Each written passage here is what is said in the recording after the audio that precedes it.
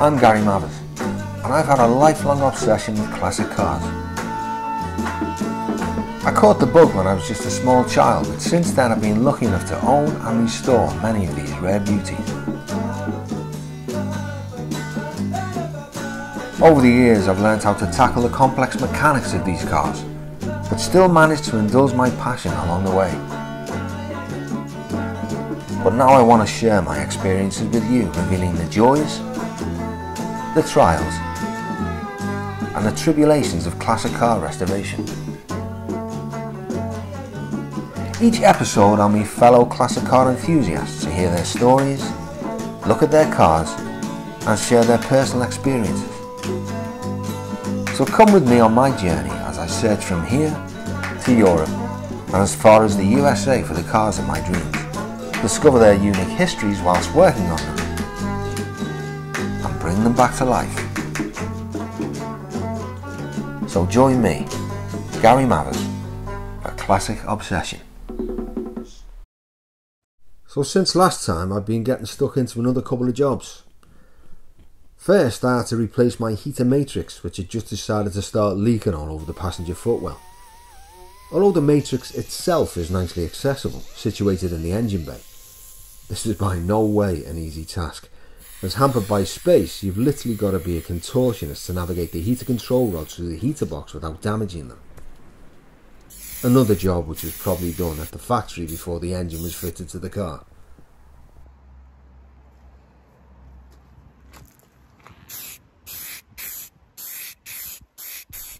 So with the box nicely painted up,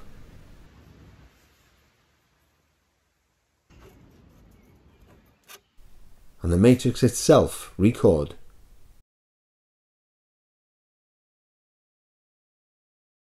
It's then refitted and another job is ticked off the list.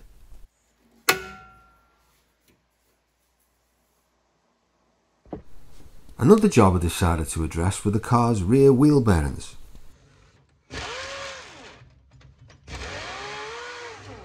In my opinion, after a car's 16 year layup, these would invariably be dried up and totally shot.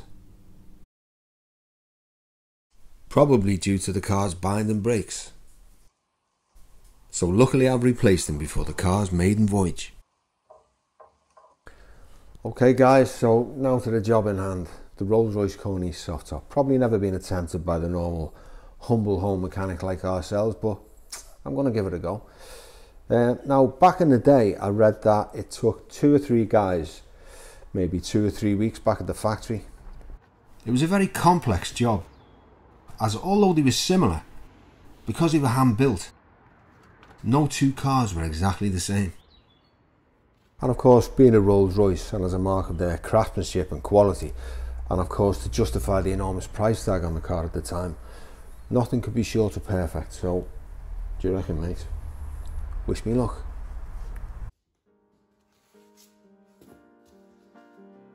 So the wooden bow I ordered from Hungary finally arrives. And on close inspection it's really well made. It'll probably just need a few little minor trims and adjustments.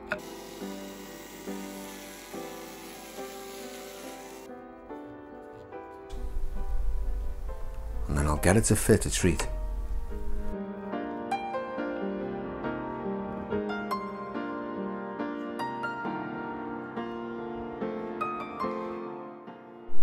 I then cover the wooden bowl with a thin foam. I cut the holes out for the lights.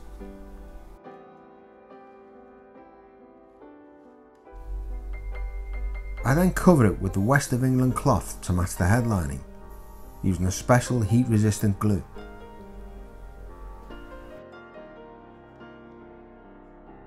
The lights are then refitted and fresh wiring is run through the wood. I then fit new electrical connectors, crimp into place, then complete the job with heat shrink ends for safety.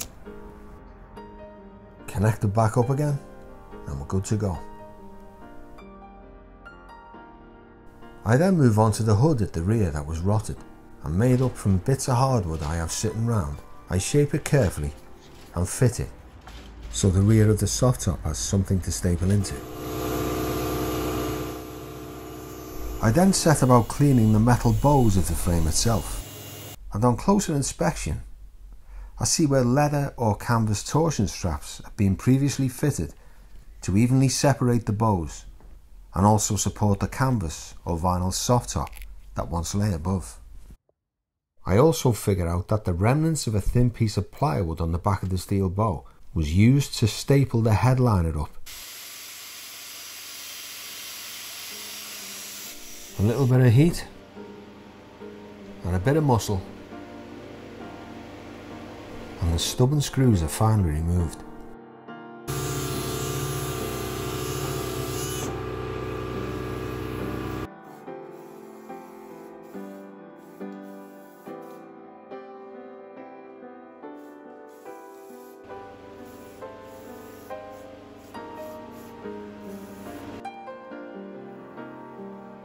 So with the bows freshly primed and painted, I then fit the new pieces of plywood to take the staples from the headlining.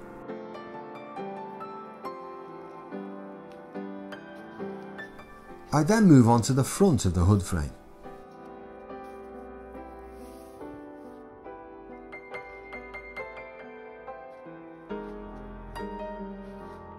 And along with everything else, when the wood is removed, I see it's in pretty shabby condition.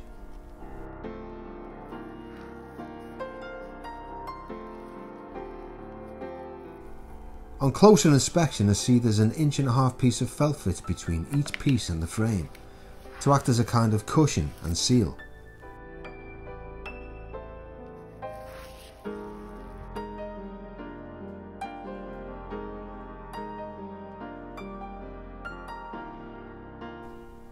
Process of disassembly begins.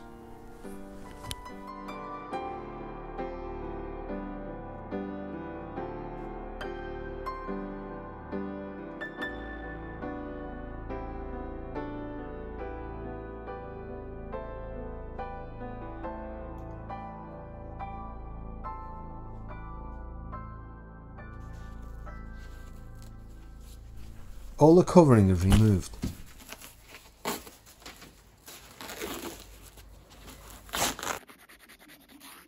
Along with the glue.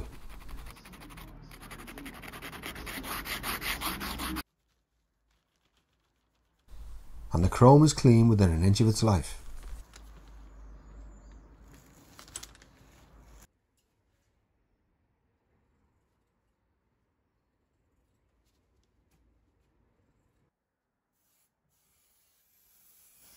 With the surface clean, the glue is then applied.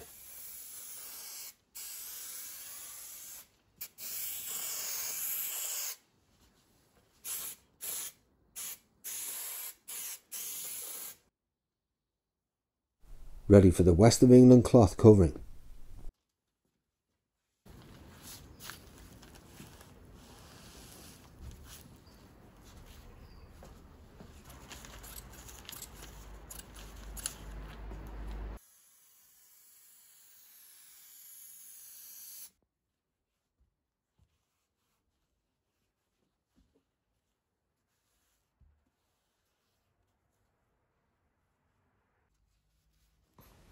And the front bow, which appears to be in really good condition, is given exactly the same treatment.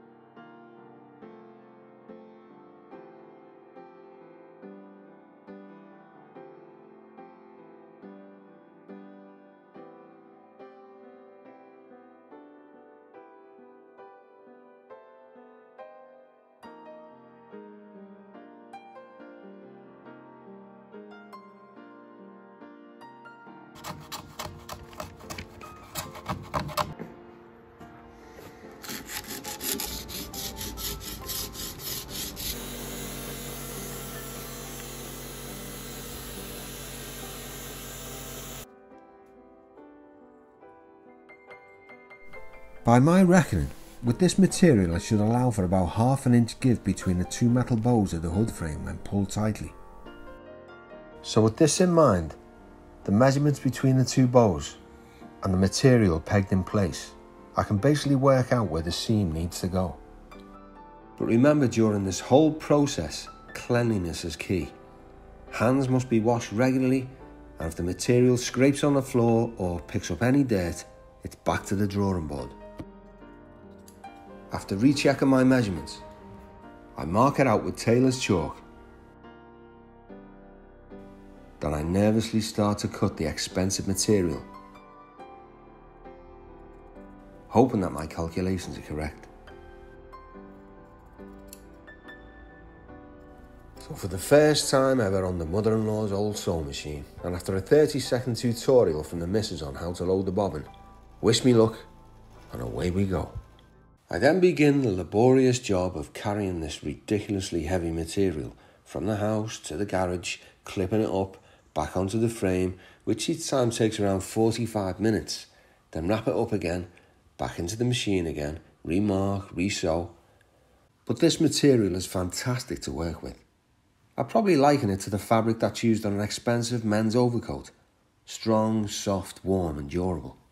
I found one of the most difficult things to get right was following the seam to the same shape as the bow. You can see where it comes down at the edges. When I'm happy my seams are correct and straight, I then we stitch along the same seam for extra strength and durability. If this hood is going to last another 50 years, then it's got to be right.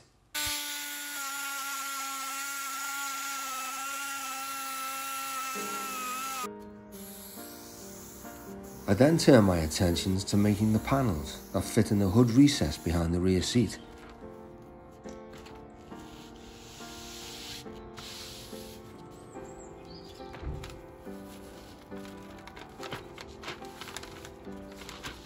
These are then fitted with a thin layer of sponge.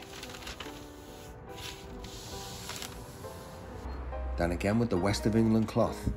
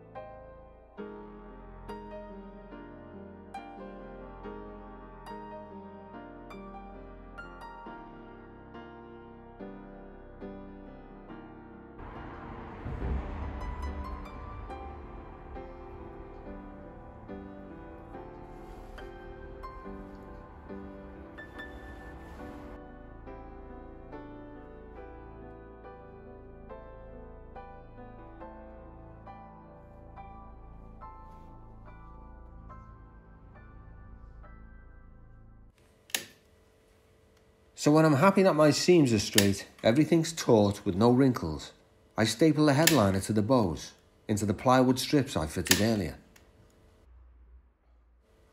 Then the excess material is trimmed off. I then make up a couple of thin aluminium strips and drill them through. Pulling the curtain down tight, this then enables me to screw into the wooden slats that I made and fitted to the hood recess in an earlier episode. For me, this just finishes the job off nicely. How neat is that?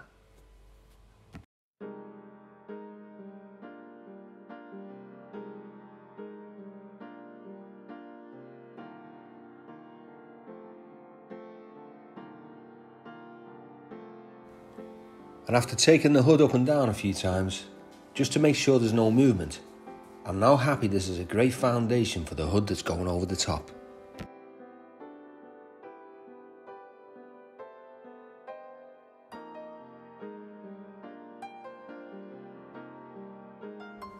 The rear window is centralised and fitted, making sure that when the hood is fully erect, the window is tight and wrinkle free.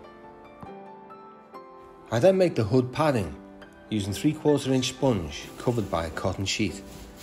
In hindsight, maybe I should have used like a quilt type substance filled with hollow fibre. This normally gives a better look, but if it's something I'm not happy with, I can always rectify this at a later date. And just to prevent any imperfections on the front bow and to give that seamless look, I decided to finish off with some horsehair. Then finally, on with the hood. And just one last tip for those of you out there who are brave enough to have a go themselves. Trim off any excess material that's not needed and make sure the hood padding is not too thick. As when recessed, the hood will simply stick up too high and prevent you from fitting your hood boot or cover.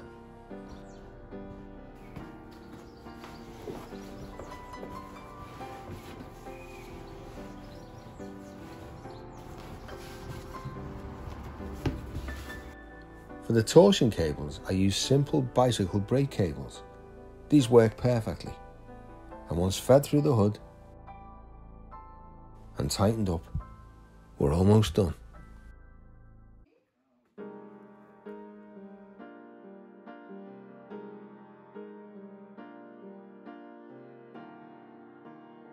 When I'm happy with the hood fit, it's carefully stapled into the wood at the bottom and all excess material is trimmed off with a blade but be careful not to slip or it's job over.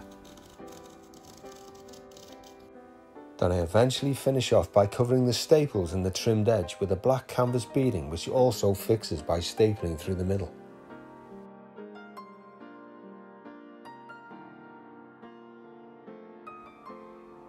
Then get the canvas so tight that I can barely close the catches of the hood and only then do I fix it into place with staples. This is a way of guaranteeing that when the hood finally wears in and settles, it won't become saggy or loose.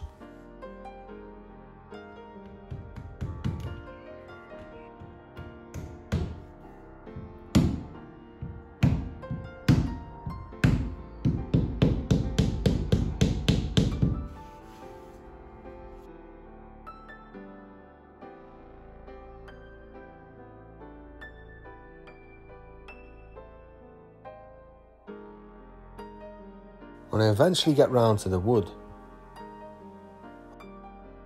I start by carefully picking off the lacquer with the sharp blade. I then give it a quick sand, a light stain, and then after 12 coats of 2-pack lacquer, I flat it and polish it on the machine. Good enough for me.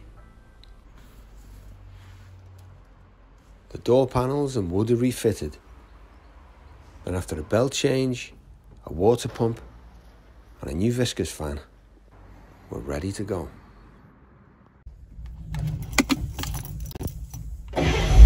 So, as we near the end of our journey, a message to all you dreamers out there. Don't be fooled into thinking this can be done in just a weekend. Rome wasn't built in a day.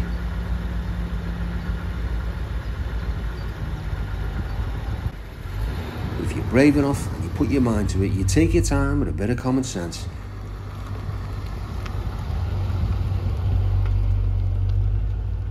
Then I'm a strong believer that anything can be achieved.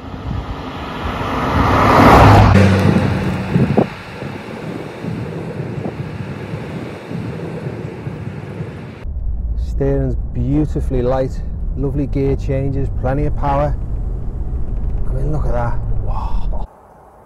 Wow. This is luxury at its very height.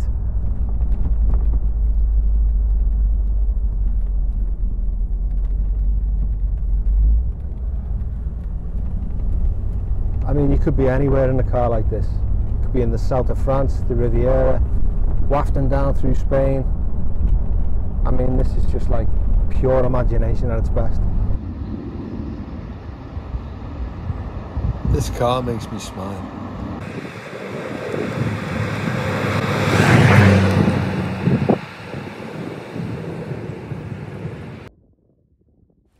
It's hard to believe a car that started production as a two-door Shadow Mulliner Park Ward in 1965 with its huge price tag and a 6.75 litre engine. In all its opulence, miraculously survives the petrol and oil strikes and severe austerity of the 1970s.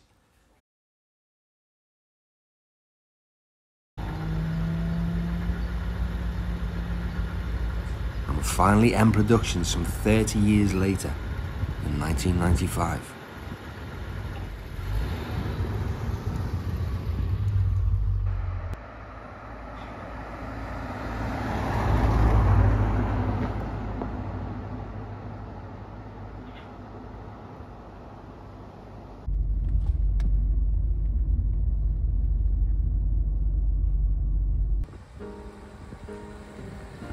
The way it glides effortlessly,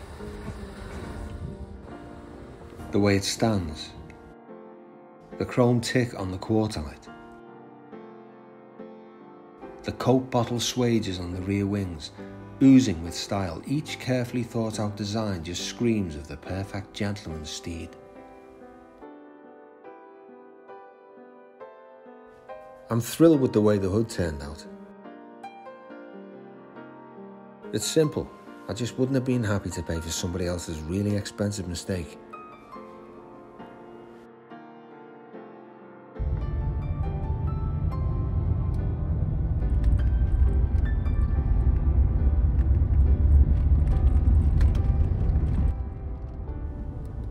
Sitting in the vaulted cockpit with the hood up.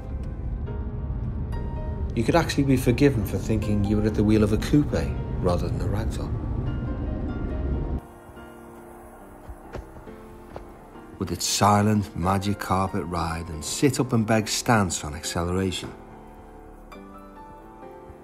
Whether it's Geneva, Monte Carlo, Hollywood, or the classiest hotels in the world.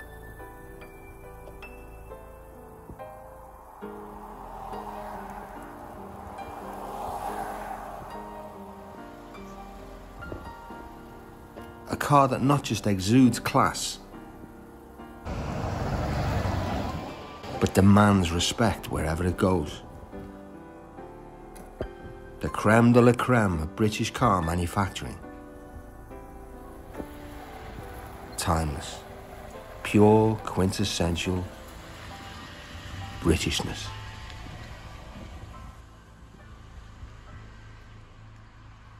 Thank you for watching this episode of Gary Mavers Classic Obsession. If you enjoyed it, please like and subscribe and join me next time when I visit some old friends and unearth another British motoring classic, the Jaguar XJS V12.